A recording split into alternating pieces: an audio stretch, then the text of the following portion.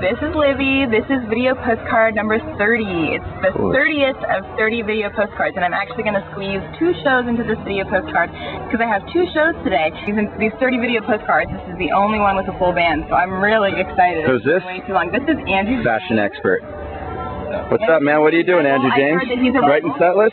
Setlist. All right. Andrew James on bass. We've got Gregory Pager on the guitar. And we've got Blake the Pulse Paulson on the drums. So this is Pomona College. It's uh, where I went to school. And there's going to be a big party with a lot of people drinking beer. And we're going to be performing at it. Oh, did you already get some beer? Nice. Uh, the band is on top of that. All right, here we are at the wash party.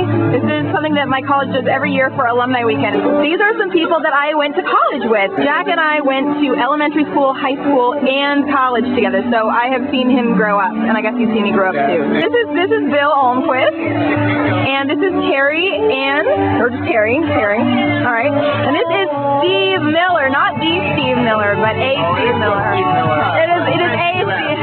It is a Steve Miller. Steve Miller wrote me my first ever fan letter, which is so sweet. So I Hotel Cafe the second show that we played tonight. Yes. Here's some really nice people who were at the show. Okay, this is Kelly. Kelly was at the show. Um, and she came with her friend Mandi Perkins, who is an amazing artist, as well as Sabrina Taylor. They're both artists. And this is Justin, right? Absolutely. And Justin played tonight as well. Justin, I played after Sabrina and before Justin. And this is Mandi, and this is Dan. Okay, by the way, Greg played both shows today. Greg did an excellent job. Oh my God, he was so good. And Greg also plays with Mandi. I wish you were the one. I wish I was.